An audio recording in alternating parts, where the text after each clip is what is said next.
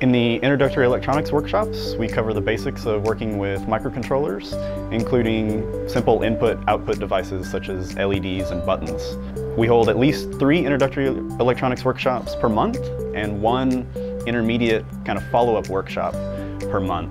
The introductory electronics workshop requires absolutely no prior knowledge of electronics or of programming. They're open to all students, staff, and faculty, to sign up, visit libraries.ou.edu slash edge.